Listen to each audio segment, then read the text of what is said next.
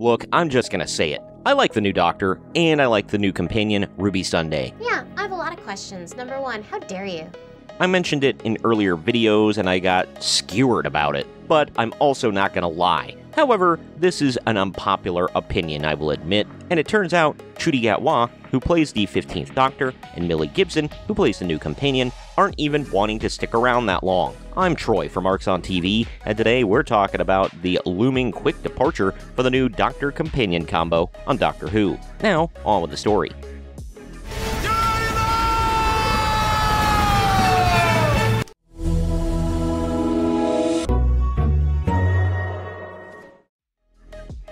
The links to the articles I'm covering can be found in the video description. The Doctor Who Christmas special, The Church on Ruby Road, was the first full episode debut for Ncuti Gatwa's 15th Doctor and was the first appearance of Millie Gibson's new companion to the Doctor, Ruby Sunday. I enjoyed it, but the ratings were not great. It pulled in just 1.79 million viewers on the BBC.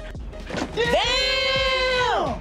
And 4.73 million viewers on streams, supposedly. I don't believe you. This underperformed the first 60th anniversary special, which pulled in 7.61 million viewers in the UK alone. Each special after that declined in ratings until the horrible numbers for the Christmas special. Even though I'm having fun with it all, I can't totally blame the audiences. Fellow YouTuber with many multiples of subscribers, Nerdrotic, said that Doctor Who was, quote, sacrificed on the altar of agenda, and, quote, the now third reboot of Doctor Who was murdered in its crib, end quote. He needs some milk! Hard to argue. However, they're going to keep limping this thing along and not change a damn thing, as Disney and the BBC tend to do. This is all a bad setup already, as the new Doctor and companion don't even look to be sticking around. What? Let's look at this article from Sky News 68. Ncuti Gatwa and Millie Gibson's Doctor Who future after 2025 looks doubtful. Just a couple of weeks after Ncuti Gatwa and Millie Gibson hit the screens with their debut episode of Doctor Who, a cloud of uncertainty is already looming over their future with the show. While both actors are still filming their second series to air in 2025, interviews on their futures have cast doubt on whether they'll be back for a third. Firstly, Millie Gibson's recent interview with Fabric magazine What the hell is even that?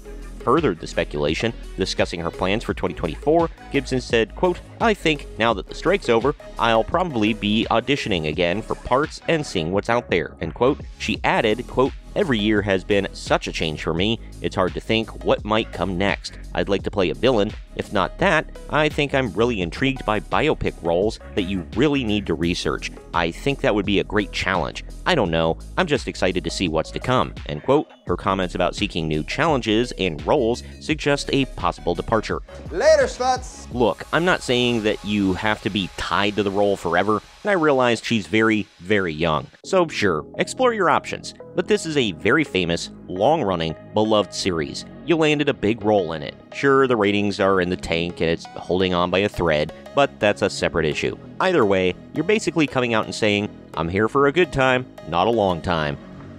Now, suppose I leave you here. Hmm?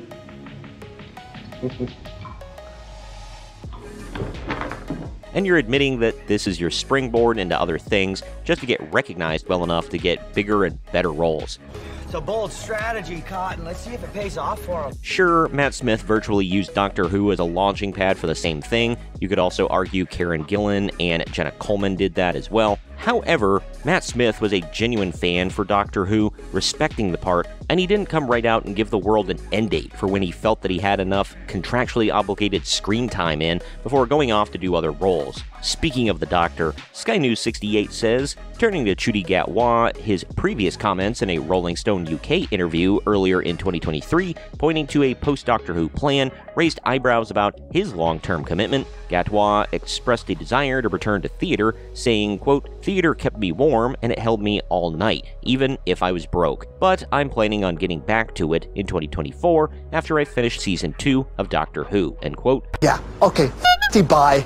Further adding to the uncertainty, Gatwa's conversation with the Radio Times in December did little to clarify his intentions. When asked about his future after the second series, Gatwa admitted, quote, no idea, no plan. I just know that I'm loving it and my love for it is growing, end quote. While this shows positivity about his current experience, it doesn't provide a clear indication of his long term plans. Gatwa could also film other things and do theater between seasons, I suppose, but the article goes on to say that showrunner Russell T Davies has promised annual Doctor Who seasons and no more gap years. This may make things a tad difficult for Ncuti to do anything else outside of Doctor Who. Then again, they're filming the first two seasons back to back, it seems, so maybe there will be little gaps in the shooting schedule? Who the hell knows? I did want to focus on a few things from an article by That Park Place that's talking about the downward trajectory of Doctor Who, focusing mostly on RTD himself.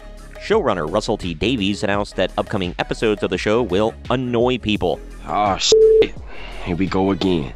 He told Radio Times, quote, The show is taking a sly step towards fantasy, which will annoy people to whom it's a hard science fiction show, end quote. Davies added, quote, Episode 2 next year is wildly fantasy, completely making up scenarios on screen that we've never been able to show before, but the following episode is proper hard science fiction, end quote. Not only did Davies explain that the show's direction will annoy people, but he also informed Doctor Who magazine, as reported by SFF Gazette, that he's creating a whole new Doctor Who mythology. Davies explained, quote, there will be controversial events in The Giggle. If you listen and watch the commentary on the iPlayer, I unroll a whole new Doctor Who mythology for you based around the events taking place. And I'm explaining this to David Tennant, and his mind is exploding. That commentary will have absolutely exclusive information that will rock the world.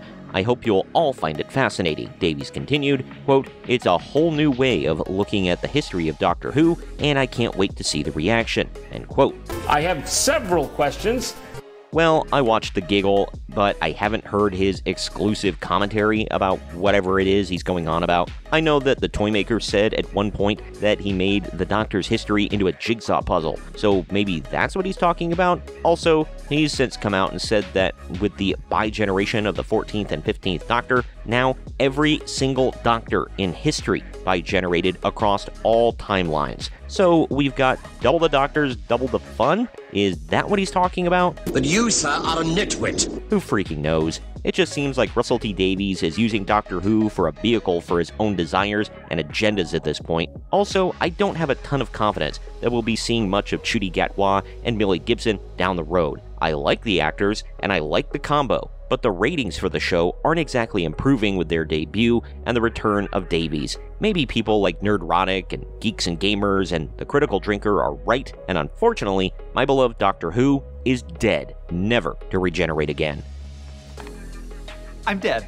Comment down below with your thoughts on the situation. Are you surprised that Ncuti Gatwa and Millie Gibson are already talking about jumping ship from Doctor Who? Do you like them at all, or do you not care? Do you think Doctor Who is salvageable, or is it completely dead? What can improve the ratings for the once beloved sci fi staple? And do you like that Doctor Who is going more fantastical rather than hard science fiction? Let me know down in the comments section. Also, please share this video around to everyone you know, and don't forget to like the video, subscribe to the channel, and click that little bell to be notified every time we post brand new content. I've been Troy from Arcs on TV, and we'll see you next time.